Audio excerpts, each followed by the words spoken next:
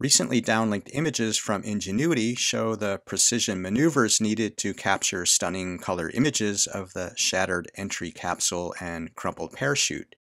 These and an Ingenuity update on this episode of Mars Guy.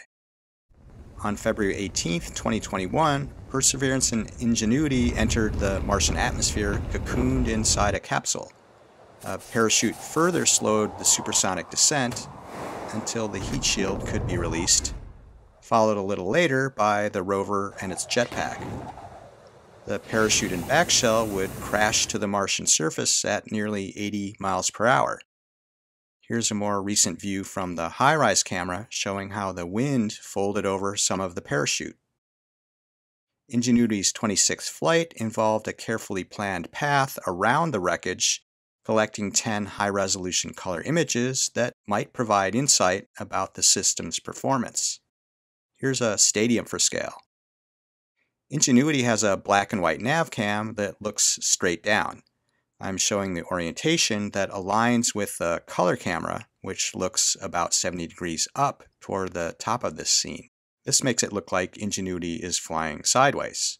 Here's the transition into the rocky Séítah terrain and here's the first color image with Mars Guy for scale in the gap of the disk gap band design of this supersonic parachute.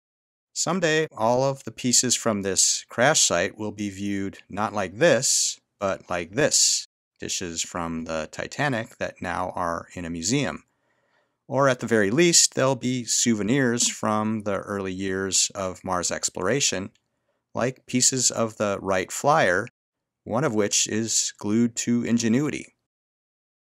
It reached the first corner of the flight path and shot a color image about halfway through its rotation. Then it finished the 90 degree turn and resumed the sideways flying. Here's the closest view it got of the parachute. Next up is the first good view of the shattered back shell. It's also a great view of the now fading spray of what is probably lighter toned dust. Ingenuity reached the second corner of its flight path and executed a turn and a shot that was just a bit early, managing to cover up some of the back shell with its foot. Fortunately, in the next position, which is the closest it got to the back shell, Ingenuity had a clear shot and even managed to get its shadow in the view the next best thing to a selfie. And note that what looks like four portals in the back shell are where the navigation thrusters once were before impact. This next sequence is shown in real time with the navcam finally getting some great shots of the back shell. The color image is probably the most dramatic one with the shattered back shell at the center of its debris field along with the parachute and Ingenuity's shadow. Ingenuity executed its final turn to depart the scene, flying over boulders at the contact with the Séítah terrain. From this perspective, it's clear that the back shell happened to land right on these big rocks, contributing to the carnage. Flying backwards along its departure route allowed Ingenuity to catch one last long view of the crash site, providing a sense of context for this event, which was pretty minor in the vast, untouched landscape of Mars. Then Ingenuity flew on toward the landing zone with its last color shot dominated by sand ripples, including the strange tuning fork version that it landed on.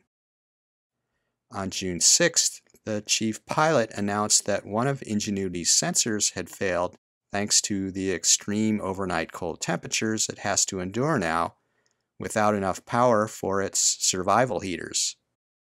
The ever resourceful engineers have a solution and a required software patch that was already coded up before Ingenuity even got to Mars. Now they have to recommission Ingenuity for flight.